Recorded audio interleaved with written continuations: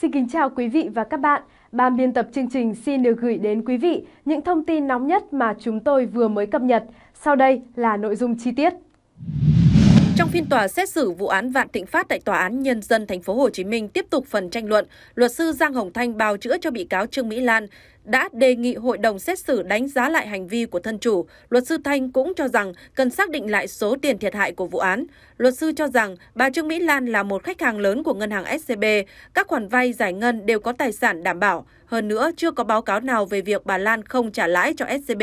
cũng như chưa có báo cáo nào thể hiện người dân muốn rút gốc và lãi khi đến hạn tại SCB mà không được. Luật sư Thanh cho rằng bà Lan đã phải chịu rất nhiều thiệt thòi, trong đó có hai vấn đề chính, chịu trách nhiệm với khoản vay không liên quan và giá trị tài sản đảm bảo của bà Lan bị định giá xuống thấp.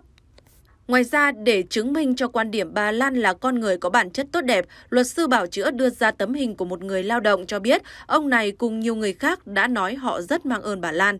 Luật sư nói con người như vậy có cần loại bỏ ra khỏi đời sống xã hội. Tôi hy vọng hội đồng xét xử sẽ xem xét để đưa ra câu trả lời nhân văn. Trước đó, tại phiên xét xử chiều hôm 1 tháng 4, sau khi nghe ý kiến tranh luận của đại diện Viện Kiểm sát, luật sư Phan Trung Hoài, bào chữa cho bà Trương Mỹ Lan, đã trình bày thêm một số vấn đề mới phát sinh trong vụ án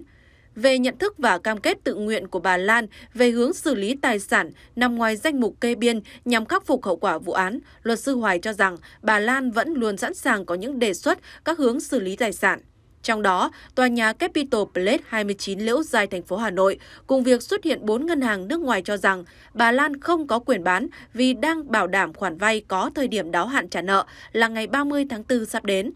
Luật sư cho rằng ý kiến của bốn ngân hàng trên là phù hợp với ý kiến của bà Lan khi làm việc với các luật sư và con gái. Theo đó, bà Lan đề nghị các bên liên quan tìm kiếm các đối tác nhằm có được giá chuyển nhượng tốt nhất. Bên cạnh việc thanh toán khoản nợ tại ngân hàng nước ngoài, số còn lại hoàn trả 3 gói trái phiếu Secha, Quang Thuận 2018 và Sunny World. Cũng theo luật sư, với mong muốn khắc phục hậu quả nếu có một cách hiệu quả, gia đình bà Trương Mỹ Lan đã trao đổi và giao cho quỹ đầu tư Vantage Point đề xuất một giải pháp toàn diện cho các tài sản liên quan đến SCB. Gia đình bà Lan cũng xin đề xuất tương tự cho việc bán chuyển nhượng, phát triển đối với các dự án đang được thế chấp tại SCB. Gia đình bà Lan cho rằng cần một giải pháp dài hạn để tối ưu hóa tiềm năng tăng giá đáng kể của các dự án. Mới đây, Đại tá Nguyễn Hà Lai, Phó Giám đốc Công an tỉnh Quảng Nam cho biết, Cơ quan Cảnh sát điều tra Công an tỉnh đang làm rõ vụ việc liên quan đến trường quốc tế Chồi Xanh Green Sus International School, phường Cẩm Châu, thành phố Hội An, bị tố lừa đảo chiếm đoạt tài sản xảy ra hồi tháng 9 năm ngoái.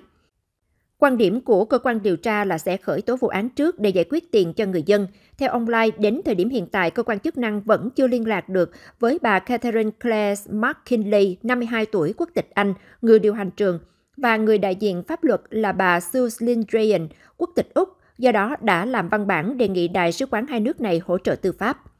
Ông Lai cho biết vụ việc đang tạm đình chỉ để chờ tương trợ tư pháp của nước Anh và Úc. Hiện cơ quan điều tra tạm giữ một số tiền trong tài khoản của họ. Khi khởi tố vụ án sẽ sử dụng được số tiền này để trả cho phụ huynh, tuy nhiên chỉ được khoảng 1 phần 3 số tiền phụ huynh đã nộp cho trường.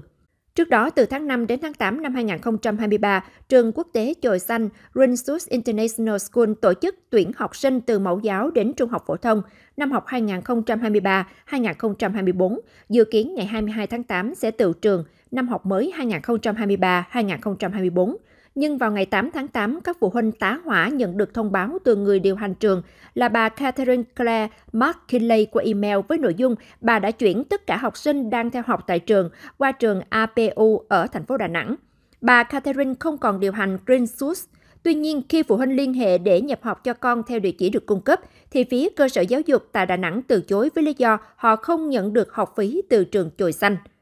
Theo phụ huynh, học phí ở đây dao động từ 350 đến 400 triệu đồng một năm, có thể đóng theo tháng, quý. Số tiền phụ huynh đã đóng trước khi vào năm học mới khoảng 14 tỷ đồng. Để kịp cho con vào năm học mới, phụ huynh nháo nhác đi tìm trường khác, đồng thời nộp đơn lên cơ quan công an tố cáo hành vi lừa đảo chiếm đoạt tài sản. Lãnh đạo Sở Giáo dục và Đào tạo tỉnh Quảng Nam cho hay, trường quốc tế Chồi Xanh Green Sus International School có khoảng 95 học sinh, trong đó có 11 em là người Việt Nam, còn lại là người nước ngoài. Nguyên nhân Greensuit bất ngờ đóng cửa là do hết hợp đồng thuê nên bị lấy lại cơ sở vật chất thu lại địa điểm dạy học. Sau khi nhận phản ánh của các phụ huynh, Sở Giáo dục và Đào tạo đã tổ chức kiểm tra, đồng thời mời đại diện trường quốc tế Chồi Xanh và phụ huynh đến làm việc, giới thiệu các trường tương đồng để theo học. Tất cả học sinh đã được nhận vào các trường quốc tế ở thành phố Hội An, Quảng Nam và thành phố Đà Nẵng. Trong phiên tòa xét xử bà Trương Mỹ Lan, 68 tuổi, Chủ tịch Tập đoàn Vạn Thịnh Phát và đồng phạm về các sai phạm tại SCB, tiếp tục với phần đại diện Viện Kiểm sát đối đáp lại 8 nhóm vấn đề mà các bị cáo và luật sư đưa ra khi bào chữa. Trước đó, trong phần xét hỏi cũng như bảo chữa, bà Lan và các luật sư nhiều lần đề cập bị cáo đã đưa nhiều tài sản có giá trị vào ngân hàng cho SCB mượn để tái cơ cấu, dẫn đến hiện giờ chính bà là người bị thiệt hại mất hết tài sản. Viện kiểm sát bác bỏ, cho rằng đây chỉ là lời khai nại, không đúng sự thật. Tài liệu trong hồ sơ về các chứng từ rút, nộp tiền, báo cáo, tờ trình của SCB về năm phương án tái cơ cấu, các văn bản phê duyệt của ngân hàng nhà nước có đủ căn cứ xác định bà Lan không cho SCB mượn tài sản mà dùng thủ đoạn đưa tài sản vào để lập tài khoản vay mới, trả nợ cho các khoản cũ của chính bị cáo và các công ty liên quan tại các ngân hàng từ trước khi hợp nhất. Theo phương án cơ cấu, bà Lan dùng 5 tài sản gồm tòa nhà Windsor Plaza, các dự án 289 Trần Hưng Đạo, khu 52, Times Square, chợ vải, đưa vào SCB xử lý các khoản nợ phát sinh trước hợp nhất là 48.759 tỷ đồng gốc và lãi. Thực tế, bà Lan không thiệt hại bởi SCB đã cho bị cáo lấy các tài sản bằng cách rút, hoán đổi, mua lại bằng chính tiền giải ngân khoản vay theo phương án, dự án, số tài khoản này với giá trị 55.000 tỷ đồng. Trong khi đó, số tiền SCB giải ngân thông qua phương án tái cơ cấu để trả cho các khoản nợ cũ là 57.000 tỷ đồng. Do đó, các luật sư và bà Trương Mỹ Lan cho rằng bị cáo cho SCB mượn tài sản và bị thiệt hại là không có căn cứ.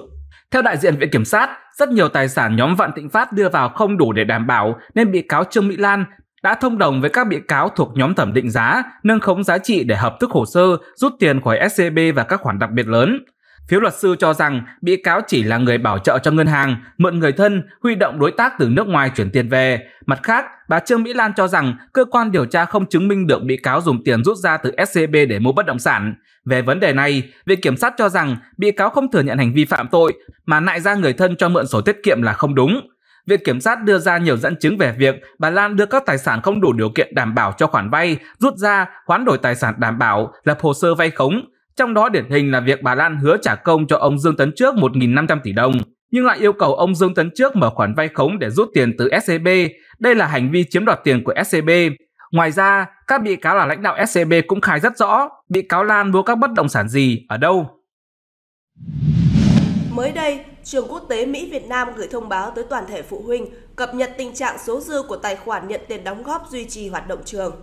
Theo thông báo của trường quốc tế Mỹ Việt Nam, ngay sau khi số tài khoản được công bố vào 14 giờ ngày 1 tháng 4, rất nhiều phụ huynh đã nhanh chóng đóng góp bằng hình thức chuyển khoản. Thông báo của trường quốc tế AISVN ghi số dư tài khoản vừa được cập nhật vào lúc 19 giờ ngày 1 tháng 4 là 17,7 tỷ đồng. Tuy nhiên, do tài khoản vừa được thiết lập nên chưa thể thực hiện được việc chuyển khoản trong cùng ngày. Bên cạnh đó, trường cần thêm một ngày để giải quyết vấn đề chi lương cho giáo viên. Vì vậy, các em học sinh sẽ chưa thể đi học vào ngày 2 tháng 4.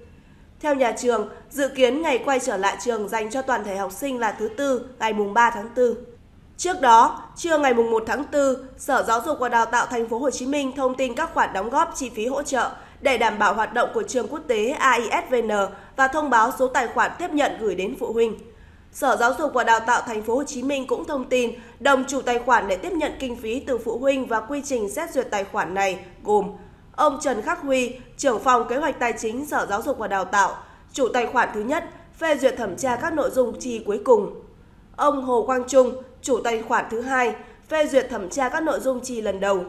Đại diện ban đại diện cha mẹ học sinh là bà Trần Phương Anh giám sát các nội dung chi lần đầu khi kế toán trường quốc tế AISVN trình. Về quy trình kiểm soát các khoản chi, tất cả các khoản đóng góp của phụ huynh sẽ được tổ công tác liên ngành tổng hợp, quản lý và công khai minh bạch. Số tiền đóng góp sẽ do bộ phận chuyên môn của tổ liên ngành duyệt chi đúng mục đích, có sự giám sát của đại diện Hội cha mẹ học sinh trường quốc tế AISVN. Bước 1. Kế toán trưởng của trường căn cứ kế hoạch chi tiết các khoản mục chi tiêu đã được phê duyệt sẽ tạo lệnh chuyển tiền trình cho ban đại diện cha mẹ học sinh giám sát, có ý kiến thống nhất. Bước 2. Người được ủy quyền chủ tài khoản thứ hai đại diện nhà trường thống nhất phê duyệt lần đầu. Bước 3 người được ủy quyền chủ tài khoản thứ nhất, đại diện Sở Giáo dục và Đào tạo phê duyệt để hoàn tất lệnh chuyển tiền. Dựa trên cơ sở giả soát theo số liệu báo cáo của trường quốc tế Mỹ AISVN, Mức đóng góp của phụ huynh hỗ trợ duy trì hoạt động của trường quốc tế AISVN đến cuối năm học 2023-2024 như sau. Mẫu giáo 28,5 triệu đồng, tiểu học 43,5 triệu đồng, khối lớp từ lớp 6 đến lớp 8 20,5 đến 61,5 triệu đồng, khối lớp từ lớp 9 đến lớp 12 từ 25,5 đến 76,5 triệu đồng. Sau khi tất toán các khoản thu chi trong năm học 2023-2024, tổ liên ngành sẽ yêu cầu trường quốc tế Mỹ AISVN thuê công ty kiểm toán độc lập để kiểm toán công khai số liệu quyết toán theo quy định.